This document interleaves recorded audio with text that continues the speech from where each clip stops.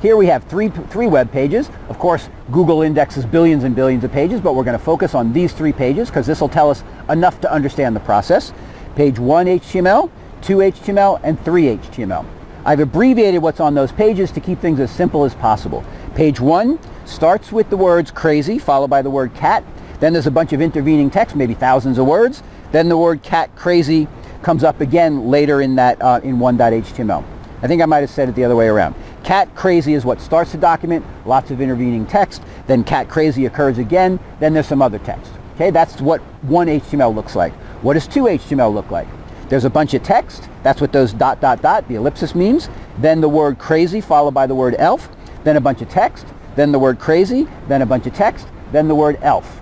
Okay, so what I've done is I pared these web pages down to just the three words that we're going to concern ourselves with so we can make it through this example. Then finally 3.html has a bunch of text, the word cat, a bunch of text, the word elf, a bunch of text, and the word elf again.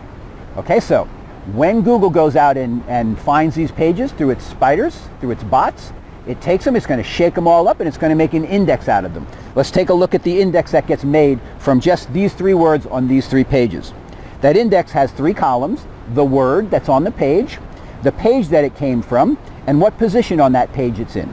So you can see that cat occurs in 1.html. It also occurs in 3.html.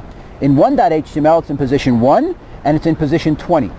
In 3.html, in 2.3.html, excuse me, it's in position 3.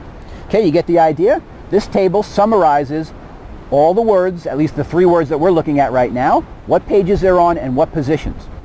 And what you'll see now is that this simple approach to shaking up all the words, putting them in an alphabetical index, and making links back to where they occurred on the pages is enough to answer all the kinds of questions that we've been that we've that we've talked about before. All the kind of questions that I talked about in the in the uh, query lecture.